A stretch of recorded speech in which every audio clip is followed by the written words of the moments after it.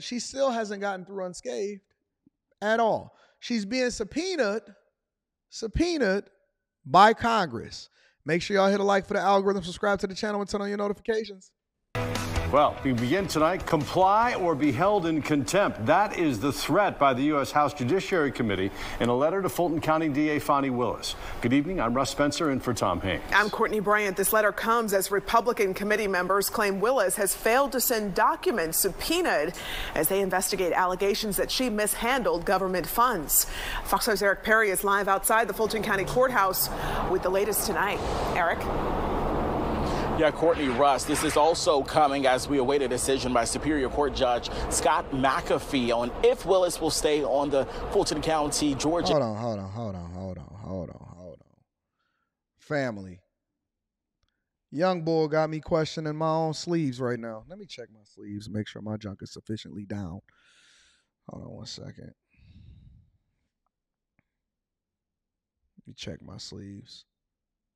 Homie got me checking my own sleeves. Yeah, my sleeves are sufficient. Got me pulling my sleeves down. Did you see them sleeves? Where did he get that from? His little sister?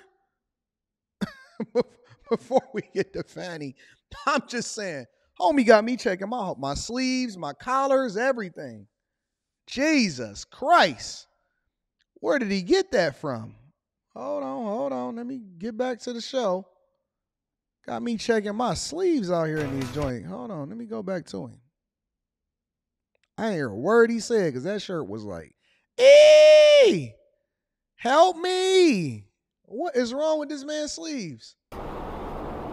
Yeah, Courtney Russ, this is also oh, coming. Oh, hell no. Hell no. he got a beater ball. he, our street said he got that from Baby Gap. Jesus. Is that how we is that the new style? Is that is this the extra medium? Is that the new style to get with an extra medium? Oh man, come on, bro. Come on, bro.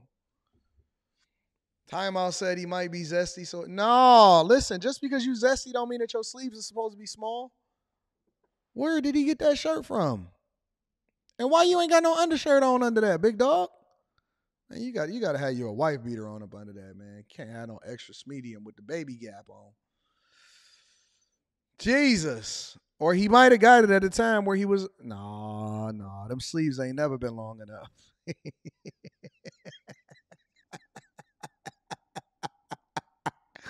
ah, hold on. We supposed to be talking about Congress subpoena and Fani Willis. Let's get back to the core core issue. What is wrong with these sleeves, bro?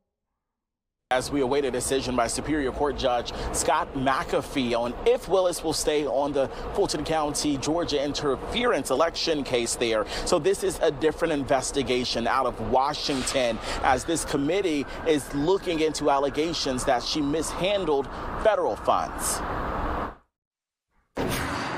options are on the table, but we'll. Uh, I expect her to comply. U.S. House Judiciary Committee Chairman Jim Jordan says Fulton County lead prosecutor Fani Willis has one last chance to submit documents requested or further action will be taken. The committee is looking into allegations of misuse of federal money during the Georgia election interference case investigation. On all the communications, we got very little from her uh, when we sent the subpoena, so we want the communications sleeves, both internal. Sleeves is off.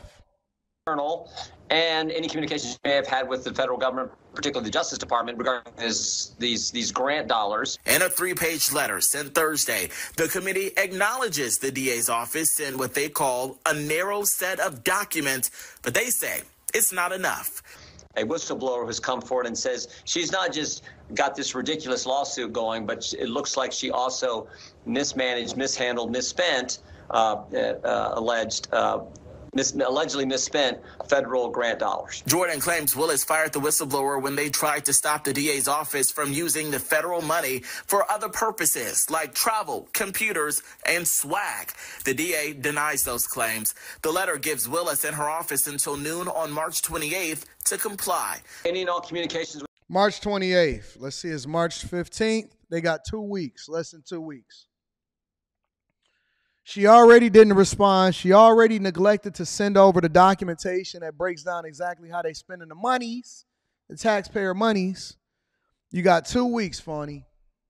And I'm gonna be watching. I'm watching. I got a, I got my Hawkeye on. They giving her an additional two weeks to comply. Send over the documentation that shows how you've been spending the money, or else Congress got to get involved now with the with the Department of Justice relative to the grant, the application, and receipt of the money, and then maybe more more importantly, internal communications at the Fulton County District Attorney's Office on how they were going to spend that money. I asked Jordan if this move is politically motivated. I say Fani Willis's uh, attack on President Trump is politically motivated. I mean, this this is a ridiculous action in and of itself. But our focus as as uh, in, in, Congress is to do oversight of the use of federal funds, particularly funds that are Brother being, uh, that are coming from the Department of Justice. And back out here live, we have reached out to the district attorney for comment. We're waiting to hear back. They did comment earlier, though, on the termination of that whistleblower. They say they have just cause for that. We are two weeks away from. No, no, no. His collar's drunk, his shirt is messed up, and he ironed that too. This is crazy. Let's go to a different source because I'm not able to focus. This shirt is throwing me off, bro. Tonight at 11, Fulton County DA Fani Willis is facing a looming deadline. House Republicans in Washington are threatening to hold her in contempt of Congress if she does not produce documents relating to her office's spending of federal funds by March 28th. 11 Alive's Karis Belger joining us now in studio with some insight here from legal experts. So, Karis, what does this all mean? Well, this stems from a whistleblower complaint alleging Fani Willis misused federal funds. The attorneys I spoke with say lawmakers can investigate investigate, but they will have to be sure they're not overstepping their authority. Fulton County District Attorney Fani Willis is facing a new deadline in the ongoing investigation into her office's use of federal funds. The federal government has a right to ensure that federal dollars aren't being misspent or misappropriated, and that's either for personal use or even diverted into another program. U.S. House Judiciary Chair Representative Jim Jordan issued this letter Thursday, saying Willis's compliance with a previous subpoena was deficient, and her office has until March 28th to produce documents proving her office did not mishandle federal money. For example, the money was given to prosecute uh, drug crimes that it's not being used to prosecute uh, even homicides, for example. That'd be a misuse of the federal funding. Willis's office was originally subpoenaed for the documents in February after House Republicans began investigating if Willis used federal funds during her investigation into former President Donald Trump. Former DeKalb County District Attorney Robert James says the outcome should not have any impact on Willis's case against the former president. But it could be, you know, practically disruptive. Um, because you know if if he follows through on the threat and if there is a contempt there's going to be a hearing. The allegations were made by a former employee in willis's office. In the past willis has called the allegations false and said quote the courts have ruled found no merit to these claims. Lawyers get involved um, potentially even the department of justice gets involved and so it would be a distraction and it could be disruptive ultimately so uh, she has until the 28th of this month to comply to send over all of the documents that basically substantiates that she hasn't been misusing the funds, uh, the federal funds that's been allocated to her to do a certain thing and she's doing otherwise. But I'm starting to think that she a Teflon. Whoever it is that she got in her corner, whoever rocking out with Fani Willis, she just seemed like she protected.